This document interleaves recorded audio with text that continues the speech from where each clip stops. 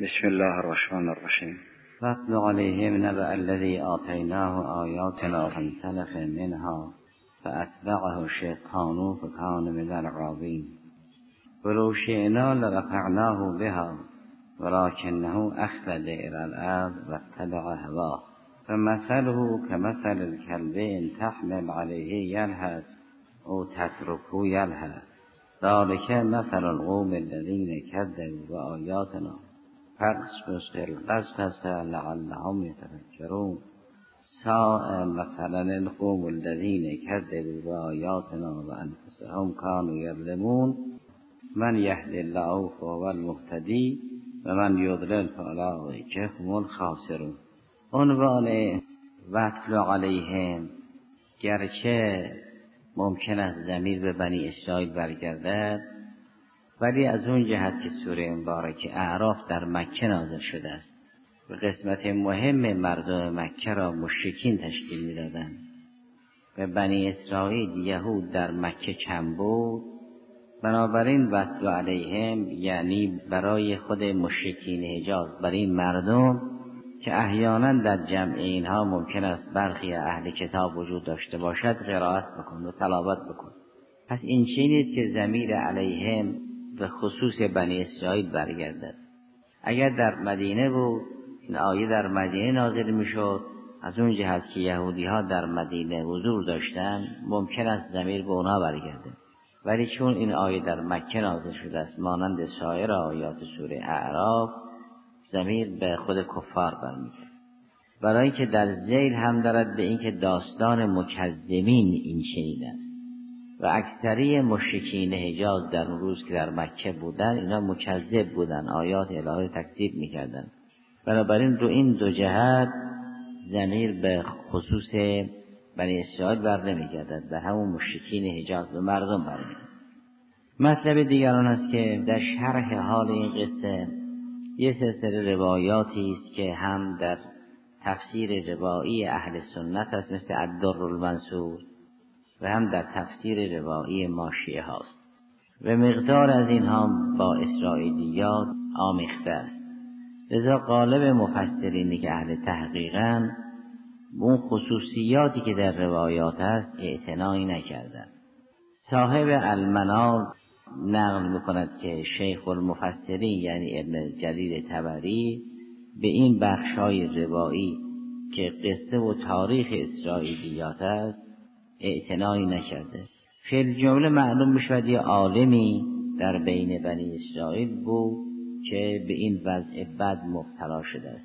اما اسمش چی بود؟ خصوصیت انحرافی چی بود؟ اون اسمی که بلد بود اسم اعظم بود یا نه؟ چه دعای بدی کرد؟ اینها در اون قصه های اسرائیلی هست. اثباتش کار آسانی نیست. مطلب بعدی آن است که قرآن کریم در طرح این داستان اونجا که از انحراف این شخص یاد می کند میفرماد اینکه فنسلخ منها. اونجا که پایان امر او رو ذکر می کند فرماد فکان من الغابین. از اینکه تعبیر به انسلاخ کرد معلوم می شود به اینکه اون روزی هم که مؤمن بود ایمان او در حد یک پوست برای او ظهور کرد. برای مؤمنین واقعی که راسخ در ایمانند راسخین در علمند ایمان در اونها رسوخ کرده در جان اونها و بدن اونها حضور و ظهور دارد. درباره برخی ها نظیر امار وارد شده است که الا من اکره و قلبه مطمئن بالایمان. چه اینکه در جریان امار باز بیانی از پیغمبر صلی الله علیه و آله و سلم رسیده است که ایمان خالت امار را من قرنه الی قدمه. مشابه اون تعبیری که درباره هست امیرالمؤمنین سلام الله علیه آمده است. منتها درباره هست امیر سلام الله علیه بالاصاله درباره شیعیان و به تبع اینا کسانی که ایمان در قلب و قالب اینها حضور و ظهور دارد من قرنه الی قدمه. برای نسبت به این بلعم و امثال بلعم ایمان یک قش ظاهری بود برای اینها. به دلیل اینکه وقتی اینها از ایمان به در آمدن تعبیر قرآن است که تنسلخ منها. از این پوست به در آمدن. معلوم می شود که اون روزی هم که داشتن بیش از حد جلد و پوست نبود. بله اما حالا ما دادیم او تا چه اندازه گرفت؟ نفرمود به اینکه ما ای را در قلبش مستقر کرده ما دادیم ولی او به آریه گرفت. به جای اینکه به قلب و قالب عطا کند فقط در قالب عطا کرده است. یعنی فقط رفوشی بود برای او.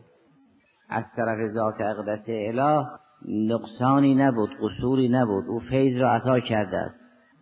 ولی اون که باید بگیرد در حد پوست گرفته است نه در حد جان.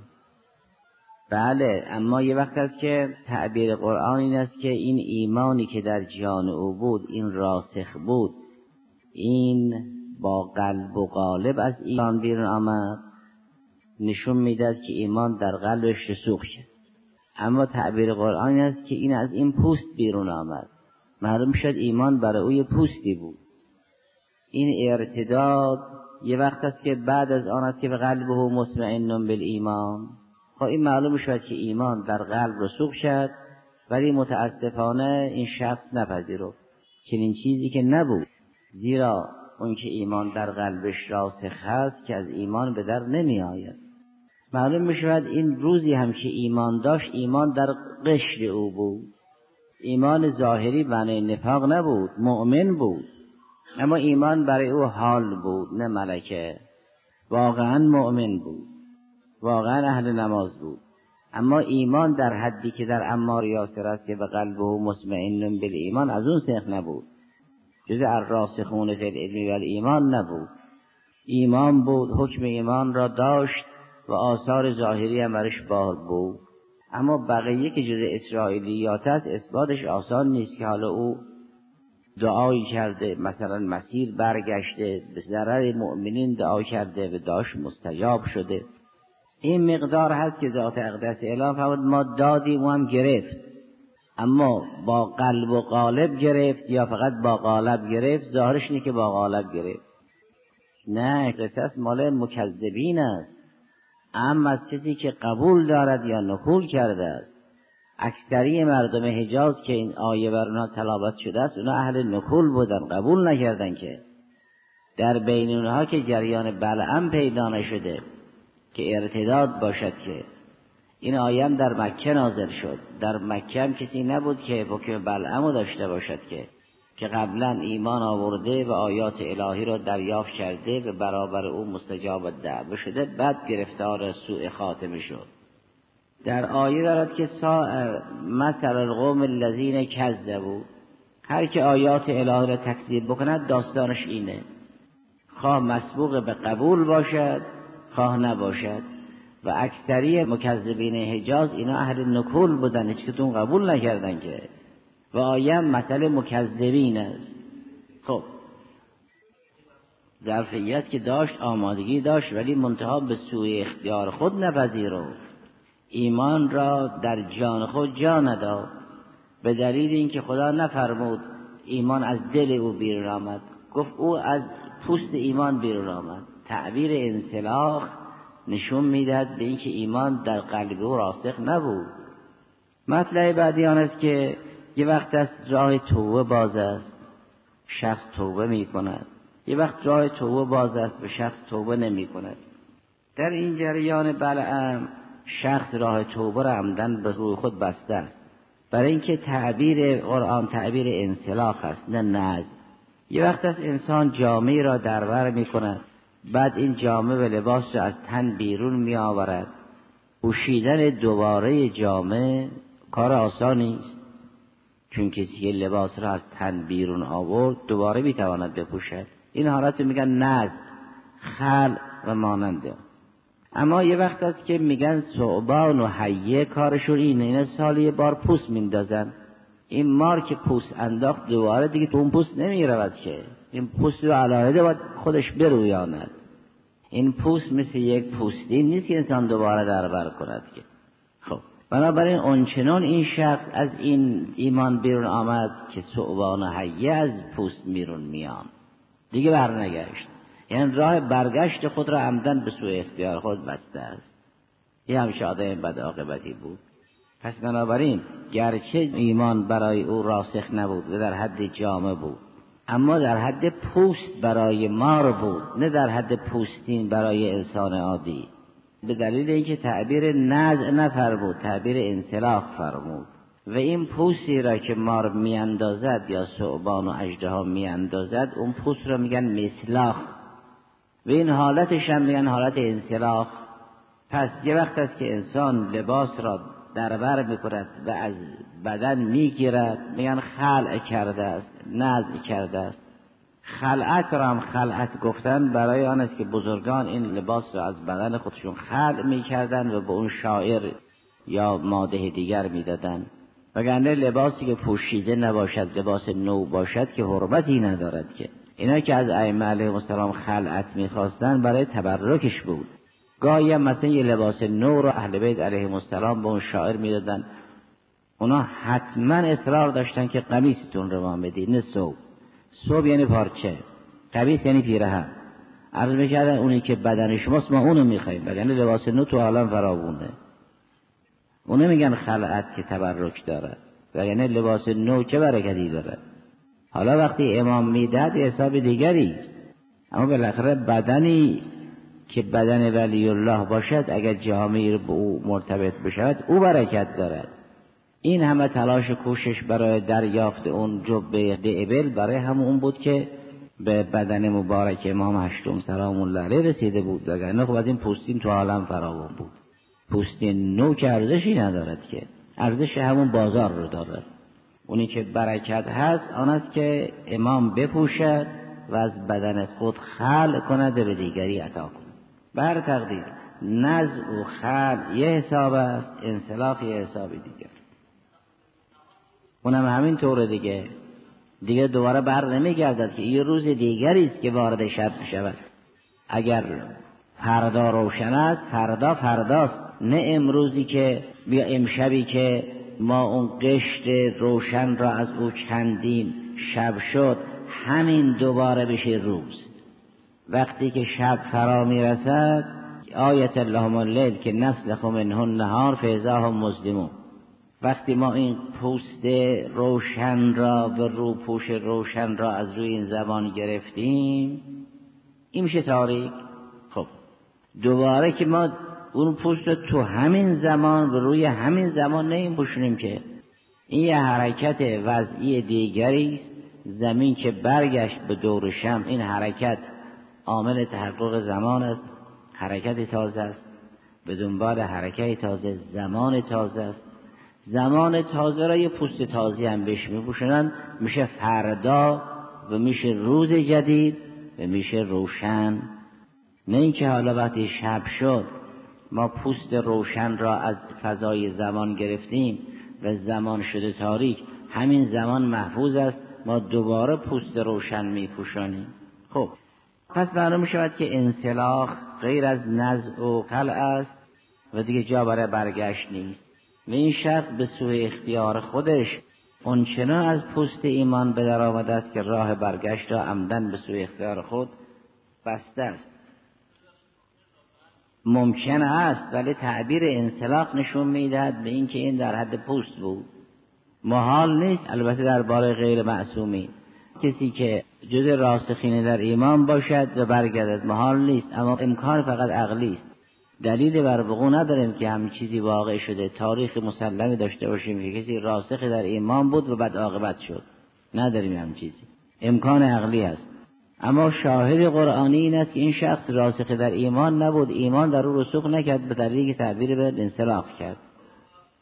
نه بعد وقتی فرمود این رو جلوتر ببرید این لباس تنم هست. لباس جانم هست. من یعظم شعائر الله فانها من تقوا الغلو. یعنی یه قدی جلوتر ببری.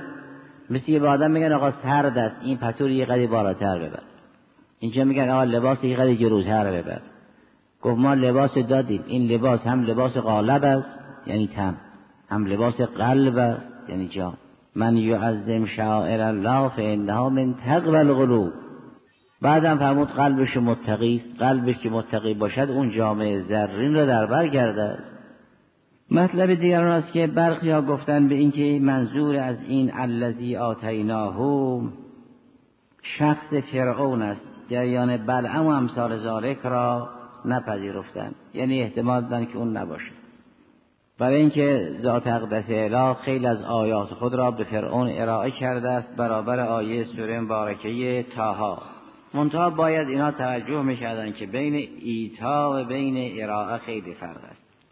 در سوره مبارکه تاها آیه 56 به این صورت آمده است. ولقد اریناه و آیاتنا کلها فکذب و ابا. به دو دلیل جریان قصه سوره اعراف که محل بحث است با جریان فرعون هماهنگ نیست. برای اینکه درباره فرعون تعبیر به ارائه است. در آیه محل بحث تعبیر به ایتاست ایتا همون اعطا است و دادن است. نشون دادن غیر از دادن است. یه وقتی انسان یک کالای را به کسی نشون می‌داد اما که به او نمی‌داد که او مالکش بشود. ذات اقدس اله آیات الهی را نشان فرعون داد که فرعون معجزات ببیند کرامت را ببیند. اما دیگه به فرعون کرامت نداد که. اما در اینجا فرمود وطل علیهم نبع الذی آتیناه آیاتنا. اینم جمع آورد که چندین کرامت ما به او عطا کردیم ایتا کردیم ایتا همون اعطاست. آتاهو همون اعطاهوست. این عطیه ما بود به او رسیده است. دوم اینکه در جریان فرعون فقط تکذیب است. دیگه انسلاخ که نیست. فرعون اصلا قبول نکرده تا کارش ارتداد و انسلاخ باشد ولی این شخص قبول کرده به دلیلی که فرمود فنسلخ منها. پس به این دو شاهد معلوم می شود که قصه ای که در سوره اعراف محل بحث است با جریان فرعون دو تاست. درباره فرعون تعبیر به ارائه شده است نه ایتا اولا. درباره فرعون تعبیر به انسلاخ نشد. فقط درباره این شخص است که تعبیر به انسلاخ شد ثانیا. فرعون تکذیبش با نکول همراه بود. اینجا تکذیبش بعد از قبول است. یعنی که با قصه فرعون خیلی فرق البته روایات هم حالا تا چه اندازه خصوصیاتش درست باشد ولی اصلش که طریق نقل کردن این را درباره قصه بلعم ذکر کردن. مطلب بعید درباره اتبعه و شیطان است. برخی ها گفتن اتبعه و شیطان مفعول دومش محذوف است. اتبعه و شیطان یعنی جعل شیطانو کفارن اتباعا له کفار را تابع او قرار داده است. اثبات این معنا استظهار این معنا و تأیید قرآنی این معنا کار آسانی نیست. اتبعه همونطور که در نوبت قبل اشاره شد در قرآن کریم در بعضی از موارد به معنای تبعه است و برای اینی که تعقیب کند. این تعقیب و مراقبت رو میگن اتباع. برای اینکه در جریان فرعون دارد که وقتی بنی اسرائیل و همراه موسی سلام الله علیه حرکت کردن به طرف دریا فرعون با همراهانش اینا رو اتباع کردن. یعنی به دنبال اینا راه افتادن که اینا رو بگیرن. و اتبعهم فرعون به جنوده یعنی تبعهم لیلحقهم و لیدرکهم. این تعقیب و مراقبت را میگن اتباع بنابراین دلیلی بر اینکه ما بگیم مفعول دوم محذوف است وجود ندارد. مطلب بعدی آن است که این که ذات اقدس اله فرمود اخلد الارض منظور از عرض دنیاست. اونایی هم که تو آسمان دارن زندگی می‌کنن با این سفینه ها و به فکر پیروی هوایان اینا اخلاد الارض دارن. گاهی منصور عرض در مقابل سماست مثل که فرمود ما باران را از آسمان به زمین فرستادیم برای اینکه زمین گیاهان خود را بروید ثم نسوقه الى الارض الجرز و مانند اون. گاهی عرض در مقابل آخرت است. عرض در مقابل آخرت معنی دنیاست. اخلد الارض این است. خب. به پیروی هوا هم همین خطر را به همراه خواهد داشت و طبع هوا. اما اینکه فرمود ولو شئنا لرفعناه بها. ذات اقدس اله خیلی ها را به رفعت نائل کرده است. حالا به یک درجه یا چند درجه. ولی این شخص به سوی اختیار خود هم از ارتفاع یک درجه خود را محروم کرد هم از ارتفاع چند درجه. آیه یازده سوره مبارکه مجادله این است که یرفع الله الذین آمنوا منکم والذین اوتوا العلم درجات این درجات تمیز جمله دوم است. تمیز جمله اول محذوف است. یرفع الله الذین آمنوا منکم درجتا والذین اوتوا العلم درجات اون که مؤمن است ولی عالم نیست. خدا او را یک درجه بالا می‌برد. اون که مؤمن است و عالم است خدا او را چندین درجه بالا می‌برد. این چه نیست که یرفع الله الذین آمنوا منکم والذین اوتوا العلم درجات که درجات مؤمن عالم با مؤمن غیر عالم یکی باشد. این دو جمله است برای هر کدام تمیز جدا و مستقل است. تمیز اولی محذوف است تمیز دوم مذکور است. اولی را به قرین دومی حذف کردن خب یرفع الله الذین آمنوا منکم یعنی مؤمنین غیر عالم. یرفع چقدر درجتا اما والذین یعنی یرفع الله الذین اوتوا العلم اون اوتوا العلم از شما نه اوتوا العلم از دیگری. به قرینه منکم قبلی.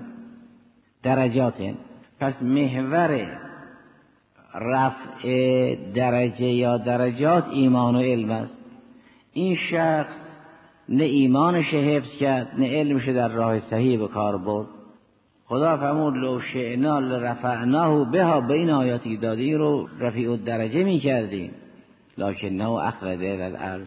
معلوم می شود آیه یازده سوره مبارک مجادله که به صورت وعده است به فعل مزارع است. که یرفع الله الذین آمنوا منکم در صورت حسن خاتمه و الذین اوتوا العلم در صورت حسن خاتمه. خب پس راه رفع درجه حفظ ایمان و همون اون عمل به علم است به طریق نافع. برای اینکه مؤمن عالم با مؤمن غیر عالم که هم درجه نیستن هل یستوی الذین یعلمون و الذین لا یعلمون. چگونه میشه که اینا یک درجه داشته باشن؟ خب باز برگشتش به قلت و نقصان دیگه. این یا یک درجه است یا دو درجه است چون ایمان درجات دارد. حداقل ایمان یک درجه است حداقل علم چند درجه است. این نیست که اگه کسی مؤمن عالم بود یک درجه داشته باشد مؤمن غیر عالم بود یک درجه. علم هم درجات دارد برای بعضی ها درجات فراوان هست. همون فاصله ای که بین سلمان و عبازر رضوان الله علیه ماست. ایمان هم درجاتی دارد مراتبی دارد. پس اگر ایمان مراتبی دارد حداقلش مرتبه اولا. و درجه که دارد یکی. علم هم مراتبی دارد. حداقلش اینکه دو سه درجه برای مؤمن عالم در نظر گرفته می شود خب. مطلب بعدی آن است که این که فرمود راشه نو اخلده الارض و تبه هوا. ذات اقدس اله فرمود به این که ما اونچه که در روی زمین است رو زینت زمین قرار دادیم. ولی اگه کسی زمین گرا شد زمینگیر خواهد شد. زمینگیرش می‌کنیم. در آیه هشت سوره مبارکه که فرمود که انا جعلنا ما الارض زینت لها لنبلوهم ایهم احسن عملا و انا لجاعلون ما علیها سعیدا جرزا. ما هر چی که روی زمین هست از باغ و راغ و بنا و غیر بنا اینا رو زینت زمین قرار دادیم نه زینت شما. انا جعلنا ما الارض زینتا لها نه لکم. زینت شما در جای است که سوره مبارکه حجرات مشخص کرده. تا شما را بیازماییم. و بعد هم عاقبت همه این زیورها به صورت پژمرده و کاه پژمرده و افسرده و اینا در میاد. و اینا لجائرون ما علیها سیدن جرس. در سوره مبارکه اسراء مشخص فرمود آیه 18 سوره اسراء که من کان یرید العاجله ای کسی تمام همش همین دنیا باشد عجلنا له فیها ما نشاء لمن نرید. اما ثم جعلنا له جهنم یصلاها مذموم مطهورا ای کسی دنیا بخواهد یه موجب جزئیه است و یه موجب کلیه. موجب کلیه اینه که آخر همه اینا جهنمه. موجب جزئیه اینه که هر اندازه که ما بخواهیم و هر کسی که خودمون مدد چون این چه نیست کسی دین رو رها کرده به طرف دنیا حرکت کرده همه اونها بشن قارون که. خیلی ها دین رها کردن دنیا هم گیرشون نیامده. یا برفرض دنیا گیرشون آمده در حد قارون گیرشون نیامده که. دو تا موجب جزئی را ذکر کرده یه موجب کلیه. فود من کان یرید العاجله چیزی که دنیا اراده می‌کند عجلنا له فیها اما ما نشاؤ نه ما شاء. اما لمن نریدو نه لکل من اراده خیلی اصلا قصر دنیا الاخره. این چی نیست که هر کی دین رو رها کرده به دنبال دنیا را افتاده بشه قارون؟ اینطور نیست. پس دو تا موجبه جزئی هست اما همه این گروه چه اونها که قارون شدن چه اونها که من نشا بودن چه اونها که لمن نرید بودن ثم جعلنا له جهنم یصلاها مذموما مدحورا. این موجب کلیت که دامنگیر اونا خواهد شد. مطلع بعدی آن است که چرا برای اینکه علمی که نافع نباشد فرمود به اینکه رب عالم قد قتله جهله و علمه معه لا ینفعه. این تو بیان نورانی است تعمیر است دیگر. فرمود بعضی از علما کشته جهلن. رب عالم قد قتله جهله و علمه معه لا ینفعه این جهل در مقابل عقل است نه جهل در مقابل علم. بعضی از علما هستن که کشته جهلن چون عاقل که نیستن. وقتی عاقل نبودن میشن جاهل. اون جهل در مقابل عقل با علم می‌سازد این جهل همان است که جاهلیت تعبیر می‌کنن از او. پایان این فرمود به این که این مثل مثل بدی است. مثل یعنی ممثل چیز بدی است نه تمثیل بد است یا مثل بد است. مثل که بسیار چیز خوبیه. این فرمود مثلا یعنی این جریان جریان بدی است. وگرنه اصل تمثیل اصل مثل زدن خیلی نافع است برای تفهیم. اکثری مردم با مثل مطلب رو می‌فهمن. چمن اون اوهدی از انسان هاست که به برهان اکتفا می‌کند نیازی و مثل ندارد. پس که بود مسئله سو یعنی مسئله سو نه سوء مثل نه مثل بد است یا تمثیل بد است. مسئله شیء بد. سا مثلا یعنی ممثل چیز بدی. است وگرنه مثل در تفهیم خیلی اثر داره. خب همین جریان بلعم یا غیر بلعم که نسبت به دین فرمود انصراخ درباره زلالت و قوایت و تو کان من القاوین که قبلا اشاره شد این کان زیارت و استمدار دارد. یک این قاوین هم صفت مشبه است نه اسم فاعل دو دلالت بر ثبات و دوام دارد نتیجه. پس این از در قوایت و زلالت رسوخ پیدا کرد. از در ایمان در حد پوست بود. پس ایمانش در حد قشر و غالب ولی قوایت و زلالت در قلب او رسوخ پیدا کرده است. الحمدلله